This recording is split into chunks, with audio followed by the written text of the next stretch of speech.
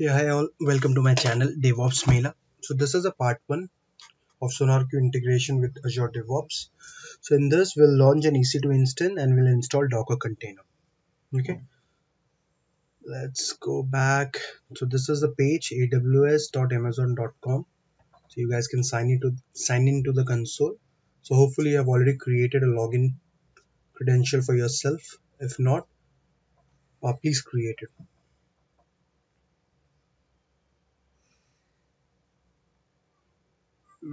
Let me put this capture. This is very weird looking. G2. Hopefully this should work very good.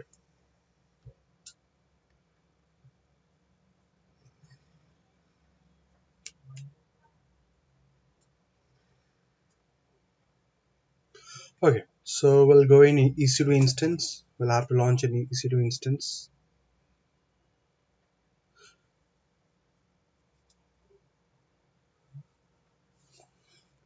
So I'll be directly, uh, directly launching an EC2 instance and if you guys are new to this and if you want a tutorial video how to launch and what, what are the things we can do with AWS, do let me know in the comment box. Okay, I'll just directly jump into the AWS marketplace.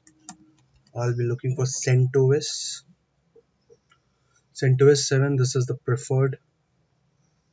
Uh, this is the machine which I will be working on. Just come down to continue. Not explaining all this right now but if you guys need any help or any understanding on those what exactly those are let me know okay? I'll be creating t2 medium okay? I'm not going with the free tier because i will be launching docker i'll be launching sonarqube i'll be launching many things. So t2 t2 micro free would be very small okay I'll keeping I'll keep everything as default like whatever default option is there I'll keep everything same. Storage 8 GB is more than enough. That is totally fine for me. Name tag I'll just name it as SonarQube security uh, so this is the default security SSH it's allowed to every uh, anywhere on, on all the IPs but only this will not work. We'll need one more security to be added. We'll add the all traffic. So all traffic will select anywhere and we'll just save it. We'll do a review and launch. For now already I already have this existing group where I have a similar setup. Nothing nothing else. So I have a similar setup in existing group so it's all traffic allowed to any source. Just do a review and launch. So your inst instant configuration is not eligible for free tier. I'm aware of, of, of, that. So i'm good good to go. Let's launch that okay. So if you're using aws for the very first time you need to create a key pair. So i already have it. How to create? Just click on create a new key pair. Give it a name test key pair download the key pair and it will get saved on your local system. Okay so I'll choose my existing DevOps key pair.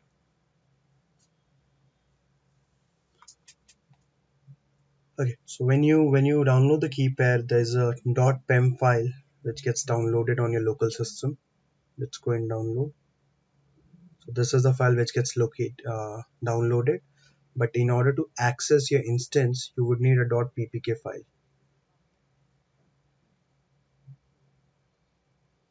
So if you guys want to know how to create a .ppk file so quickly you can just uh, run putty. You would need putty gen for that.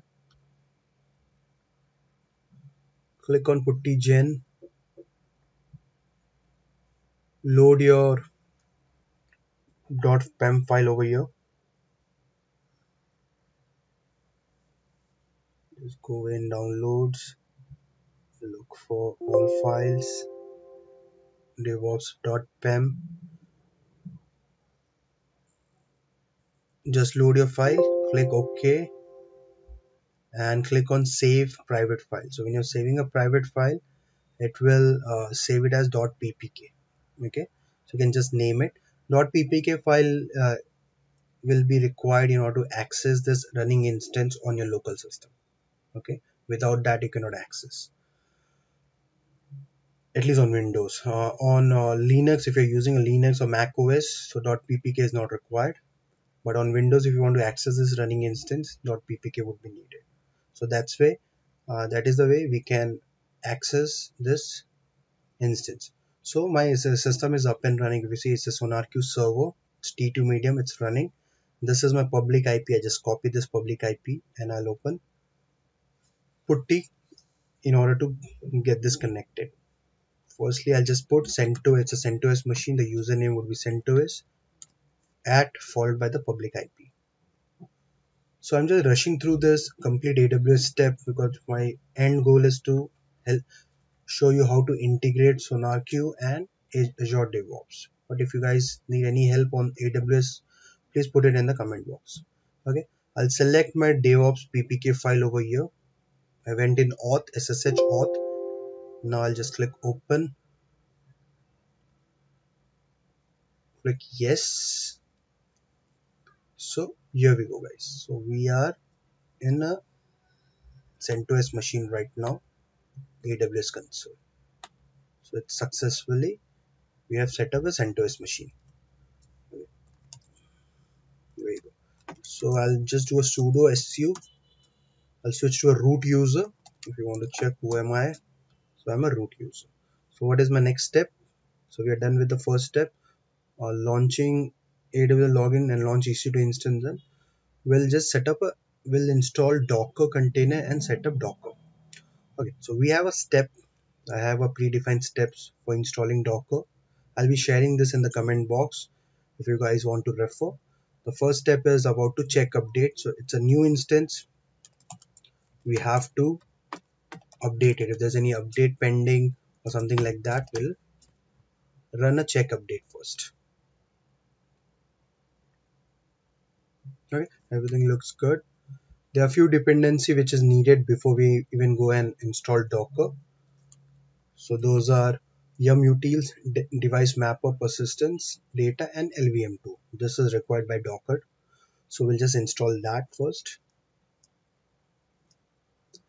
Hyphen y stands for yes. So whenever you run any, any installation on CentOS it will prompt you whether you want to install it or not. And if you're defining hyphen y so you're giving a go ahead that go ahead and install it. This this step yum config manager we are adding rocker uh, docker repo in as a local in in my local repository on my server. So whenever then after we'll start if we need anything for like if you want to upgrade or install docker directly we can use yum. That's why i'm just adding as a lo local repository on my system on a server. So if you see yum config manager, this is a command. What we're doing, we are adding a repo. This is the Docker repo link and it got added in etc yum.reposd docker-ce.repo file. Okay. Now if you want to install Docker, so simply we can do in, in yum install Docker. It will get you the latest Docker. See, I have not given the flag why that's why it's prompting me whether you want to install it or not. So it's an interactive way of installing a software on Linux system. So it's a, a CentOS flavor which we are using right now. The same command will work on uh, Red Hat too if you are using a Red Hat machine. And but if you are using Ubuntu or some other flavor, then on Ubuntu you have to use a apt apt. Okay so we have docker installed right now in order to check whether it is installed or not and if it's running or not. So docker d is the daemon which runs in the backend. So we just check if that d daemon is working or not. So system ctl status docker it's loaded but it's inactive. But in order to activate it we can just change this to start. Okay now let's check the status again it's active. So my docker is up and running. Let's see the docker version now. Incorrect command. Okay so the docker 1.13 is up and running. Let me see if i have any docker container running. Nothing. So it's plain. So my docker has started and it's up and running. I have all the steps mentioned over here. Okay this last step if you want docker to even run when when the system reboots or something like that. So you can just do a systemctl enable docker okay. So we'll we'll stop it over here. This is this is purely a docker installation video. We'll come back and in the next video we'll set up a SonarQube in a Docker container and we'll access SonarQube dashboard and we'll check we'll configure Azure DevOps repository on top of it. Okay. Thank you please subscribe to my channel. Thank you